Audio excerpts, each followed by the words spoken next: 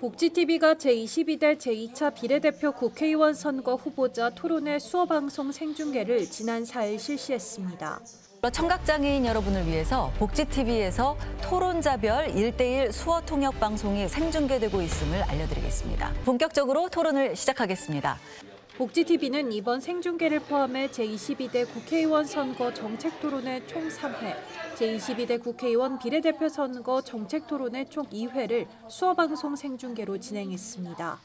이는 사회자와 토론자마다 1대1 수어 통역사를 전담 배치하고 확대된 수어 통역 화면을 제공하는 방식으로 타 방송사와는 차별화된 모습을 보여주고 있습니다. 복지TV는 지난 2022년 대통령 선거를 시작으로 발언자별 수어 통역 방송을 진행했으며 중앙선거방송토론위원회와 협력해 선거 토론마다 1대1 수어 통역 방송에 힘쓸 계획입니다. 복지TV 뉴스 김은별입니다.